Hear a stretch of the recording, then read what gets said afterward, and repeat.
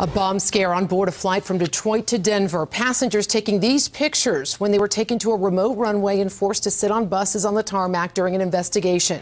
New information tonight on the story that we first broke on 7 News at 5. 7 News reporter Marshall Zelinger has been live at at DIA all night. Marshall, within the last hour, those passengers were finally allowed to go home.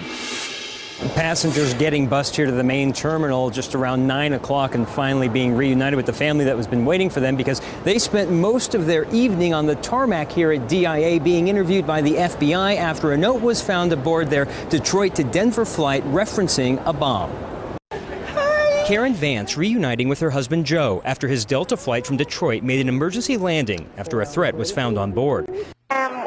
Our flight attendants found um, a note indicating there was a bomb on board towards the rear of the aircraft. The FBI came on board the plane and asked, of course, did anybody leave the note? They said there was a piece of paper in the back with the word bomb written on it. Passengers snapping photos while waiting on the tarmac for four hours. And they told, came on the announcement and they said, like, we found uh, there's been a threat to the aircraft and everybody needs to turn your phones back off, and this is not a request, it's a demand.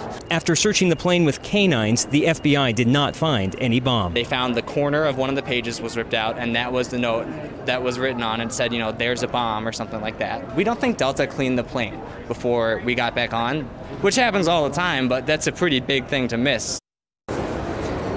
That passenger, Aaron Barrett, tells me that where that uh, note was ripped off of a menu was in a row where there was an elderly couple and a person who never left their seat. And the note was found in the back of the plane, which is why he believes it wasn't anyone on his plane that had anything to do with this note.